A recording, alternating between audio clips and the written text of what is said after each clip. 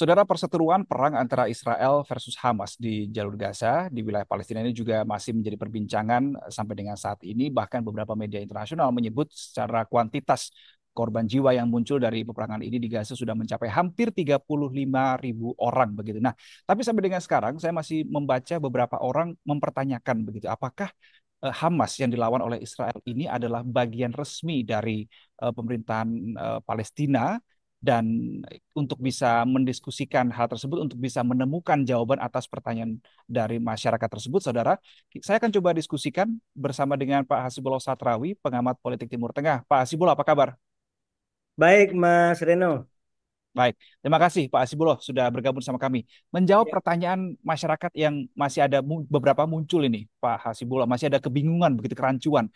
Memangnya Hamas itu bagian dari uh, official military dari Palestina kah atau bagaimana?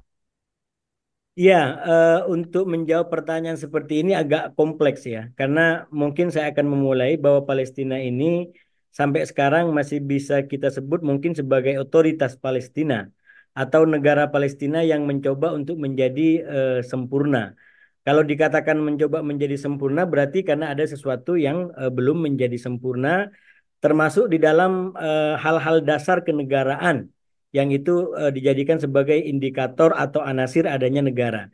Katakan uh, sebuah teritori, kan negara itu berada di atas teritori. Nah, ini Palestina kan teritorinya juga masih menjadi perdebatan dan itu menjadi salah satu isu yang nanti kalau bicara tentang konflik dengan Israel itu bisa menjadi memanjang gitu. Nah, yang kedua bicara tentang apa namanya? bicara tentang apa lagi? Tentang hukum ya tentang hukum. Ya otomatis ini juga masih masih eh, belum menjadi satu kesatuan gitu. Karena uh, minimal di dua wilayah itu di antara Hamas dengan dengan apa namanya tepi barat itu kan ya secara de jure mungkin sekarang bisa kita katakan uh, apa namanya satu kesatuan Palestina tapi secara de facto itu uh, dua dua wilayah ini dikontrol oleh kekuatan yang berbeda yaitu Hamas yang mengontrol wilayah Gaza dan eh, apa namanya Fatah atau otoritas Palestina yang mengontrol wilayah eh, apa namanya eh, tepi barat. Nah ini memang agak rumit, eh, Mas eh, apa namanya Mas Mas Kevin ya, Mas Mas Reno, Reno, Reno. Reno ya, maaf Mas Reno untuk menjelaskan ini gitu. Yeah. Cuma uh, kalau untuk menjawab pertanyaan tadi, ya memang uh, sampai sekarang Hamas itu menjadi salah satu de facto secara politik dan pemerintahan di uh, te, di Gaza terutama setelah Hamas memenangi pemilu pada tahun 2006 lalu. Karena semenjak 2006 lalu maka dia satu memenangi pemilu dan yang kedua secara apa namanya konflik uh, politik dan mungkin bersenjata juga mengalahkan rival-rivalnya termasuk Fatah, maka Hamas uh, secara de facto berkuasa di uh, Gaza yang sekarang menjadi pusat daripada pertempuran dengan Israel. Mas. Mhm. Oke, jadi dalam artian bisa disebut uh, Hamas dan juga uh, Hamas itu bisa disebut sebagai part of dari pemerintahan Palestina yang resmi atau seperti apa, Pak Asibulo? Jawaban gamblangnya seperti apa? Sebagai sebuah negara yang uh, ini menurut saya ya, sebagai sebuah hmm. negara hmm. yang masih dalam proses uh, pembentukan untuk menuju sempurna, mungkin bisa dikatakan menjadi bagian daripada rakyat Palestina, bukan negara Palestina. Karena hmm. karena apa namanya kalau kita bicara tentang satu kesatuan, nah itu kan berarti sebuah negara yang sudah sempurna. Ini kan seperti yang saya bilang tadi, Palestina belum memiliki anasir-anasir yang uh, cukup untuk disebutkan sebagai negara sempurna. Katakan salah satu di antaranya adalah yang jadi pembicaraan kita tentang angkatan bersenjata. Hamas hmm. apa namanya Hamas itu bukan angkatan bersenjata Palestina. Karena di Palestina itu banyak kelompok-kelompok perlawanan, banyak milisi-milisi yang memang uh, menggunakan senjata untuk perlawanan-perlawanan yang dilakukan selama ini. Dan belum ada angkatan bersenjata atas nama Palestina, di mana kalau dia perang maka dia yang uh, melakukan perang sebagaimana militer Israel menyerang menyerang uh, Palestina gitu. Nah itu yang saya bilang tadi beberapa unsur uh, belum belum belum terpenuhi gitu. Bahkan kalau saya ingat eh, kalau saya ikutin perkembangannya kalaupun jadi negara terutama ini kalau minta pendapat Israel Israel itu maunya Palestina itu menjadi negara yang tanpa angkatan tanpa angkatan senjata ini kan senjata. realistis gitu jadi menurut saya kita dukung Palestina untuk mencapai kemerdekaan dan kedaulatannya di dalam segala hal, pengembangan dirinya termasuk angkatan bersenjatanya, termasuk juga mungkin pengembangan-pengembangan lain yang dibutuhkan dalam kapasitas diri sebagai sebuah negara. Gitu, Oke. Mas. Ini menjadi pertanyaan uh, Pak Hasibulo. Kita ingat uh, pekan lalu begitu ada perjanjian untuk atau upaya ya gencatan senjata di Kairo. Yang hadir di sana pada saat itu adalah Hamas, bukan yeah. Ya. uh, pemerintah resmi dari Palestina. Gimana Pak Hasibulo melihat hal ini? Ya, itu memang uh, apa namanya titik-titik buram-buram dalam pengertian buram-buram yang uh, pertama saya sebutkan ya memang itu perwakilan daripada Hamas karena secara de facto sekarang yang ber, ber, berperang adalah Hamas. Karena itu mungkin pada akhirnya ini bagian daripada pengakuan tidak langsung dunia. Karena dunia kan termasuk Amerika nggak mengakui Hamas. Malah Amerika itu menganggap Hamas sebagai uh, teroris dengan beberapa hmm. negara lain gitu. Nah, dengan kenyataan-kenyataan seperang seperti ini, maka sebenarnya ini cara Hamas untuk membuat dunia mengakui eksistensi dan keberadaan dirinya gitu. Faktanya hmm. sekarang yang menjadi uh, perwakilan daripada uh, Gaza, faktanya yang menjadi otoritas di Gaza itu adalah Hamas. Karena itu yang berunding adalah otoritas Hamas bersama otoritas atau bersama pemerintahan Israel dan para mediator yang terdiri dari uh, Amerika, kemudian Mesir dan uh, Qatar. Mas Reno. Nah, uh, kalau kita melihat sampai sekarang kan bisa kita maknai Israel sekarang uh, perangnya adalah melawan Hamas begitu. Tetapi kalau ya. kita melihat uh, berbagai pemberitaan media internasional yang menjadi korban adalah warga sipil begitu 34.500 lebih Yeah. Iya. Uh, apakah ketika hal ini yang perang adalah Hamas, tetapi yang jadi korban adalah adalah warga sipil, kenapa tidak bisa ada upaya dari pemerintahan resmi Palestina itu untuk setidaknya berkomunikasi, eh itu warga sipil yang kena dan seterusnya. Bah, Hasibullah menjembatani hal ini bagaimana? Melihat hal ini. Ya, se sebenarnya kalau upaya-upaya dari pihak otoritas Palestina, terutama Mahmud Abbas, saya yakin ada. Cuman persoalan hmm. persoalannya sejauh mana itu berpengaruh dan didengarkan terutama oleh otoritas eh, apa namanya Gaza yaitu Hamas dan kalau warga Palestina di Gaza mungkin masih banyak mendengarkan ya dan mengikuti itu. Hmm. Tapi kalau ditanya inisiatifnya saya yakin ada, tapi persoalannya berpengaruh tidak gitu. Dan sejauh ini saya melihat justru ini eh, sebuah kekuasaan Hamas yang sangat powerful di di Gaza di situ. Dan yang nah. kedua, kalau saya melihat eh, Mas Reno berkaitan dengan ini semua, ini mestinya juga menjadi cara kita warga luar Gaza, mm-hmm. luar Palestina untuk merenung sebenarnya otoritas itu ada di di siapa? Ada di pihak luar atau ada di internal orang-orang Gaza? Kalau ada di internal orang-orang Gaza, kenapa kok kedaulatan dan pendapat tidak coba kita rumuskan berangkat daripada pendekatnya orang-orang Gaza, termasuk juga Hamas? Karena ini bagian daripada pembelajarannya Mas Reno. Sejarah Palestina termasuk Gaza itu kebanyakan sejarah yang ditentukan dari luar wilayah Palestina. Itu mulai dari pembentukan dimulai dari luar bukan orang Palestina. Termasuk uh, ketika juga ini pembangunan rencana-rencana ke depan itu tidak melibatkan rakyat Gaza. Bahkan kalau yang itu berkaitan dengan pilihan rakyat Gaza sendiri itu ditolak. Apa itu? Saya uh, mungkin berbeda dengan Hamas, tapi di dalam hal kenyataan itu saya sampaikan Hamas itu adalah faksi yang memenangi pemilu di Gaza pada tahun 2006.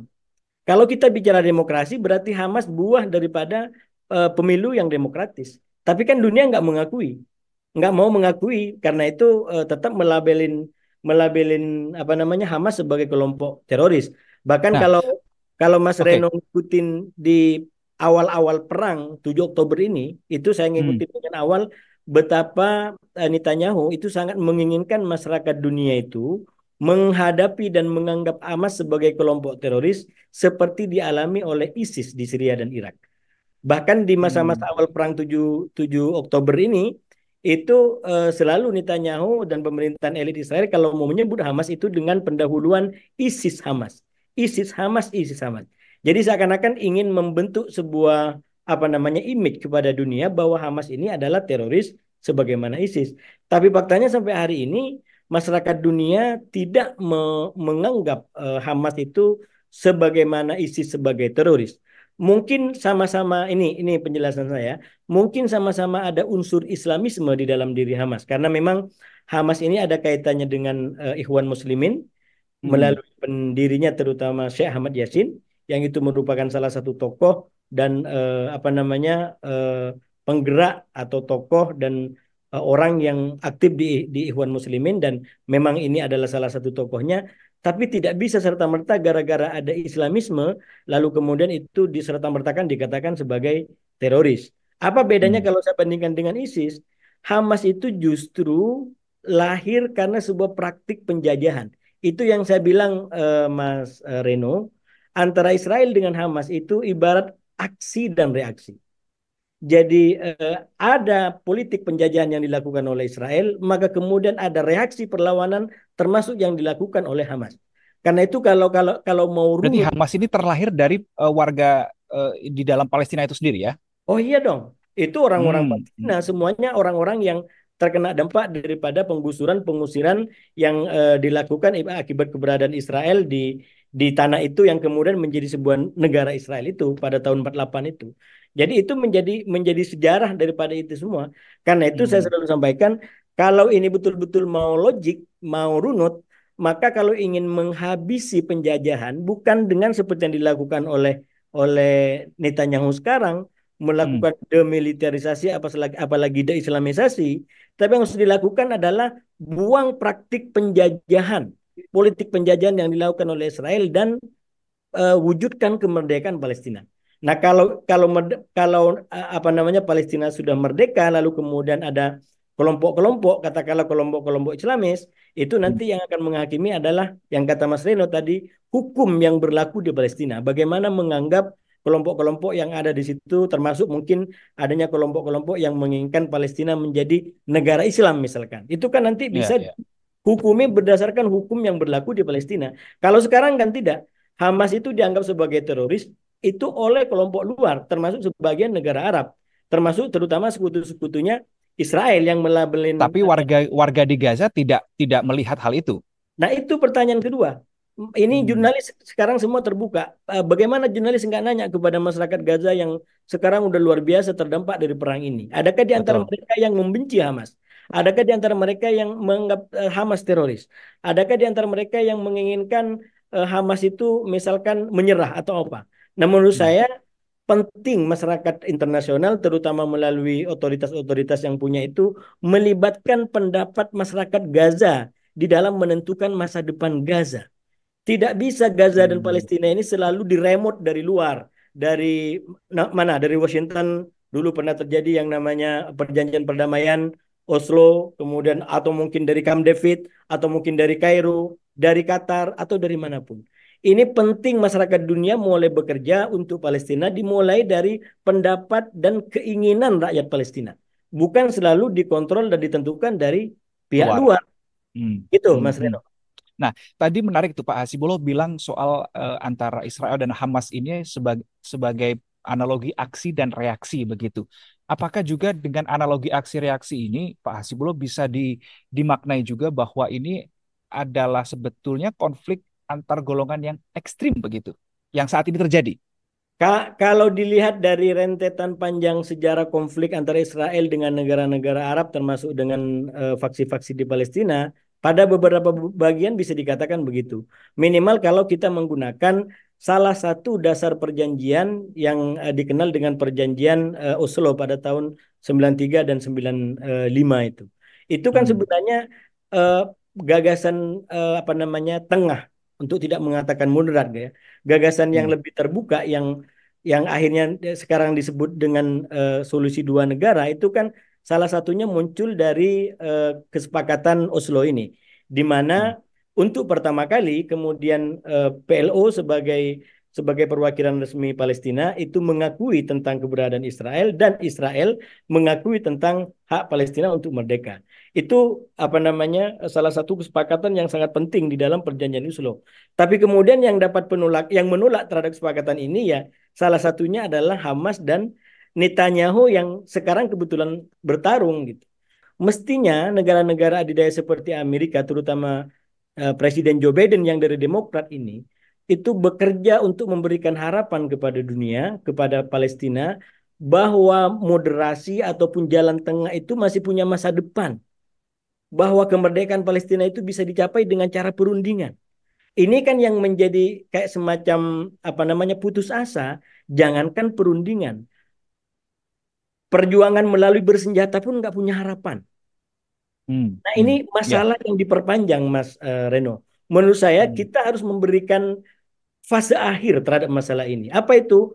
Keyakinan kepada semua pihak, terutama Israel dan Palestina, bahwa perdamaian itu bisa dicapai melalui perundingan. Kenapa melalui perundingan? Karena itu cara yang paling paling sedikit resikonya. Kalau sampai menggunakan uh, angkatan bersenjata seperti sekarang, maka akan semakin banyak orang yang menjadi korban.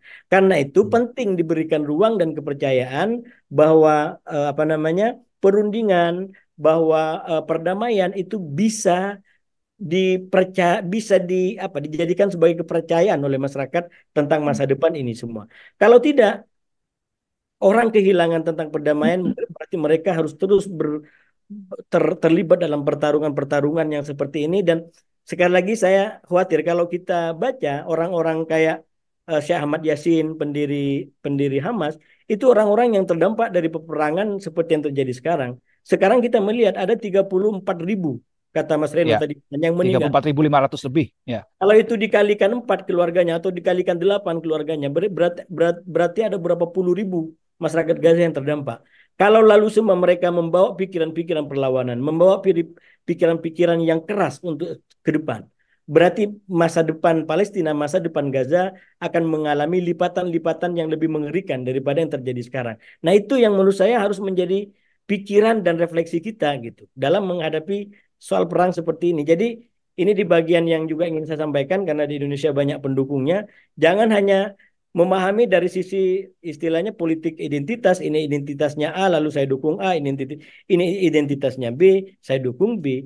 Saya selalu sampaikan gunakan pendekatan kebangsaan kita untuk melihat ini yaitu tentang kemerdekaan. Kita bersuara hmm. kepada Palestina pure karena kita punya prinsip di dalam konstitusi di dalam undang-undang dasar kita bahwa kemerdekaan adalah hak segala bangsa. Itu relevansi. Ya. kalau dibawa kepada identitas maka itu akan menjadi mudarat bagi mereka Palestina dan Israel dan juga mudarat bagi kita karena lalu kita kemudian tidak berada dalam satu kesatuan nasional dalam menghadapi hmm. persoalan seperti ini. Gitu Mas Ren. Baik, Pak Sibuloh terakhir tadi kalau Anda mengatakan uh, Amerika misalkan Joe Biden yang harus bisa memberikan harapan begitu karena mereka latar belakangnya Demokrat uh, ada jalur perundingan yang bisa ditempuh karena jalur senjata pun juga tidak berujung begitu. Nah, menyambung juga tadi Anda katakan, Indonesia juga mendukung kemerdekaan Palestina. Apa yang sebetulnya bisa diambil, peran seperti apa yang bisa diambil oleh Indonesia dalam mewujudkan perundingan itu? Kalau kita lihat kan upaya-upaya sudah berjalan gitu, sudah sudah diupayakan, tapi belum berbuah hasil. Ini apa missing link-nya, Pak Sibulo? Ya, eh, sebenarnya banyak hal, Mas Reno, kalau ini mau dicapai secara lebih sempurna gitu. Yang hmm. pertama pada tahapan-tahapan darurat, katakan begitu ya, itu mungkin Amerika dan beberapa negara yang selama ini menjadi sekutu dekat Israel itu harus menggunakan pendekatan keras kepada Israel terutama melalui dua hal yang sekarang sudah mulai dilakukan oleh uh, Amerika yaitu mengkoreksi senjata dan uangnya. Saya hmm. yakin kalau senjatanya Amerika dan uangnya Amerika dirasionalisasi artinya ditangguhkan seperti yang sekarang dilakukan dalam konteks senjata itu akan punya dampak kepada Israel dan itu menjadi harapan kita agar Netanyahu ini tidak terus meng, apa ya me, membiarkan apa namanya hasrat hasrat politik perangnya terus menerus dan menimbulkan korban yang sedemikian banyak. Sama juga itu kelompok-kelompok yang bisa dekat kepada Hamas juga diberikan uh, keyakinan kepada mereka bahwa cara seperti ini itu tidak menguntungkan hanya mengorbankan masyarakat sipil yang uh, sedemikian banyak. Itu menurut saya pada fase-fase darurat untuk menghentikan laju krisis ini agar tidak uh, semakin dalam. Dan kalau sudah nanti menjadi lebih damai Nah ini itulah menurut saya Indonesia bisa masuk untuk bagaimana memberikan inspirasi-inspirasi, pengalaman-pengalaman di dalam katakanlah merekonsiliasi. Nah ini masuk kepada tema yang disampaikan Mas Reno di awal, merekonsiliasi hmm. di antara faksi-faksi Palestina karena ini soal juga gitu. Walaupun dari yeah. luar kita mengakui kemerdekaan Palestina, kalau di internal Palestina sendiri, terutama di antara Fatah, Hamas, dan kelompok-kelompok lain belum terbangun sebuah kesatuan nasional, maka tetap aja ini tidak akan mengantarkan Palestina kepada kemerdekaan yang sempurna. Jadi uh, di internal damai dengan negara lain tapi di internalnya juga masih ada masalah begitu maksud Anda? Masih ada masalah. Jadi hmm. rekonsiliasi nasional Palestina itu harus dibangun dan menurut saya Palestina eh, Indonesia bisa punya peran yang powerful di situ karena hmm. uh, Palestina dan rakyat Gaza saya yakin juga mengikuti semua apa yang terjadi di Indonesia betapa masyarakat Indonesia sangat peduli dengan Palestina bahkan kita punya rumah sakit Indonesia di sana itu salah hmm. satu simbol betapa Indonesia hadir di di di Palestina dan yang kedua Indonesia juga punya pengalaman menghadapi berbagai macam katakanlah faksionalisasi politik atau kelompok-kelompok yang uh, bertikai uh, di dalam lalu kemudian tidak terus-menerus menjadi pembelahan nasional justru uh, kita melihat sampai sekarang uh, sudah mulai membaik termasuk Pilpres Mas 2004 kayaknya sudah mulai membaik. Oke, ending-endingnya pilpres juga, Pak Hasibullah. Karena ada bagian Indonesia-nya, jadi saya, okay. saya masukkan di situ. Oke, baik Pak Hasibullah Satrawi, pengamat politik Timur Tengah, terima kasih sudah berbagi sudut pandang di kesempatan kali ini. Semoga ini bisa menjadi pencerah begitu ya untuk uh, masyarakat uh, secara keseluruhan, utamanya untuk di masyarakat Indonesia. Bagaimana sih sebetulnya relasi antara Hamas dan juga uh, otorita pemerintahan Palestina itu sendiri? Terima kasih Pak Hasibullah, kita jumpa lagi di episode berikutnya. Dan ya. saudara itu tadi sedang viral untuk kali ini kita jumpa di episode lainnya. Saya Reno Reksa pamit, salam SCTV.